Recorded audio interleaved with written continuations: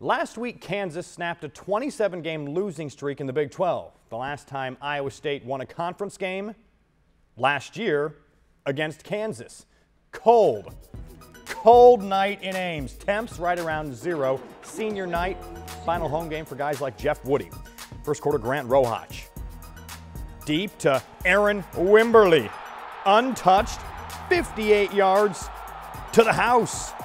The Ice House, 7 0 Iowa State. Cyclone defense mans up. Jansen Watson. Interception in the end zone. And the cold has gotten to the Cyclone fans. They want Bama. I don't think that's going to happen. Third quarter, Rohach swings it to Quenton Bundrage. Check this out. Spinning, keeps his balance, and into the end zone, 15 yard touchdown. The rout is on.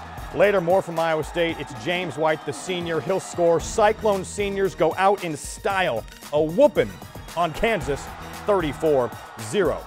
Most happy for our seniors. Uh, to go out at home with, with a victory, uh, with a performance like that, um, means the world to me, and uh, I know it means the world to them. It, it's hard to sh shut out a team you know, in college football, uh, especially in the Big 12. So to get that done was a, a, huge accomplishment. All we wanted to do was go out on a high note, man. Leaving Jack Trice Stadium for the last time, you know, seniors went out in a good way. You know, it was, a big victory for the program.